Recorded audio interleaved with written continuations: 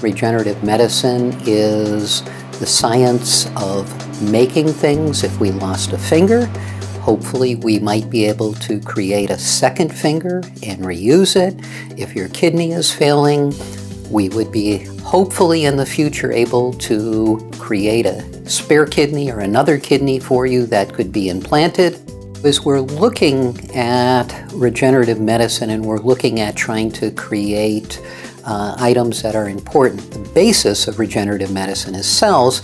The early regenerative medicine therapies use cells and they're injected into the body with the hope that these new progenitor components will quickly manifest themselves to repair whatever malady it is that you have.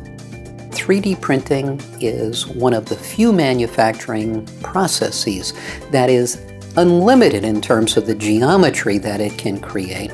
The organs and the tissue that you want to look at for starting any of these processes are the simplest of all of these organs. Your ear in terms of using an ear is, again, early entry into regenerative medicine. The structure of your ear really has no function other than the geometry of the ear. So it is something that creates aesthetic value to us.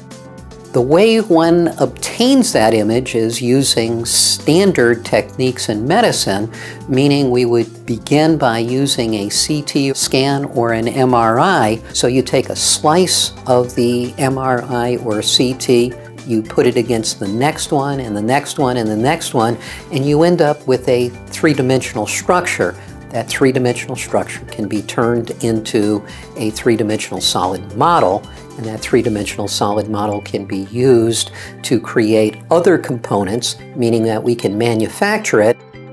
We will be creating and using regenerative components, cell therapies. Those are right around the corner.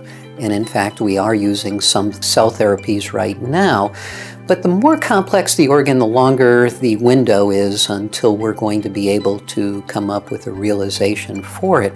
So my guess for a complex organ like a heart would probably be in 25 years, uh, maybe a little bit shorter, maybe a little bit longer than that.